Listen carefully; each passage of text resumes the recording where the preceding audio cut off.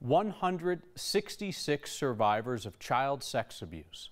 166 Coloradans victimized by the priests they trusted. They came forward, each one to bring light to a culture of secrecy and suppression. Their stories are included in the report today, the largest investigation of priest abuse in Colorado history. The former U.S. attorney who led this reckoning says these 166 lives were permanently changed, permanently diminished. Kevin Vaughn from our 9 Wants to Know team shares what the Catholic Church in Colorado has long kept from seeing the light of day. We don't name any victims by name in the report, but we want to make sure their stories are told. The report does not mince words, laying out in sometimes graphic detail systematic sexual abuse and shockingly sad stories. One priest, Harold Robert White, abused 63 children. At least four of the victims later ended their own lives. And while the report provided a difficult look at the past, it was also a call to change the future, to make it easier to report abuse, and to stop protecting child molesters. That's the assessment of former U.S. Attorney Bob Troyer, who wrote the report. The culture has got to change.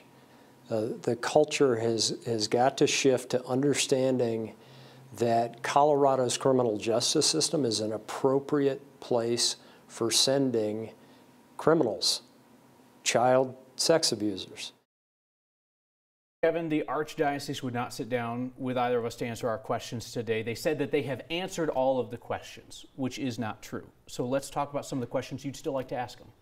I'd like to ask them why, after Colorado's mandatory reporting law was strengthened in 2002, they still failed to call the police in more than half the cases that they learned about since then.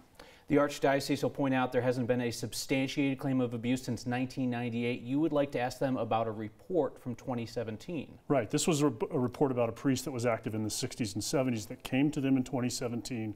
A priest described in the report as the most calculated, horrific, and predatory of all of them.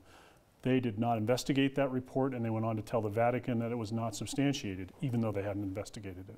The Archdiocese provided us with a pre-recorded statement where Archbishop Samuel Aquila says that he has an open door policy to talk to survivors. Today's report explains what those survivors see when they walk in the door. They walk into a religious building, they meet with up to 10 people, lawyers, clergy in religious garb, what looks to a lot of them as a hostile environment, and they're expected to tell the stories of the most difficult experience of their lives. Kevin Vaughn, thank you very much.